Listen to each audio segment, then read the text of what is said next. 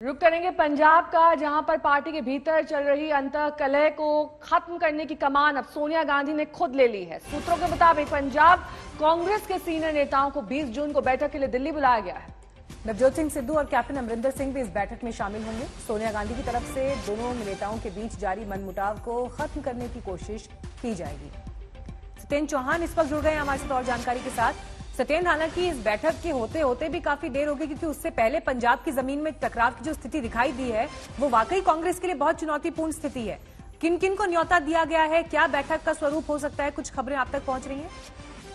देखिए, ये तो कांग्रेस के अंदर की बात है, लेकिन अगर कांग्रेस के बाहर की भी पंजाब की राजनीति की बात करें तो अकाली दल ने बहुजन समाज पार्टी के साथ गठबंधन कर लिया है और अकाली दल आक्रामक तरीके से कहीं ना कहीं कांग्रेस पर पलटवार करने में लग गया है।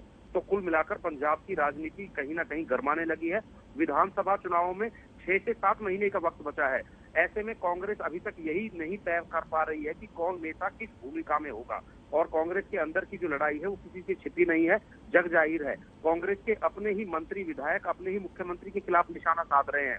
कांग्रेस की हाईकमान ने तीन मेंबर्स की कमेटी बनाई थी उस कमेटी ने आला कमान को रिपोर्ट सौंप दी है। अब उसके बाद ये कहा जा रहा है कि 20 जून को कैप्टन अमरिंदर सिंह नवजोत सिंह सिद्धू के अलावा दो तीन और वरिष्ठ नेता हैं उनको बुलाया जा सकता है और इनको एक टेबल पर आमने सामने बैठाकर बात की जा सकती है जिसमें मुख्य फार्मूला यही रहेगा कि चुनावों से पहले किसके पास क्या भूमिका होगी और आगे ये जो अंतर कलह है ना हो और इसको यहीं पर फुल स्टॉप लगाया जाए इन बातों की चर्चा के लिए तमाम बड़े नेताओं को दिल्ली में बुलाया जाए। बहुत बहुत शुक्रिया।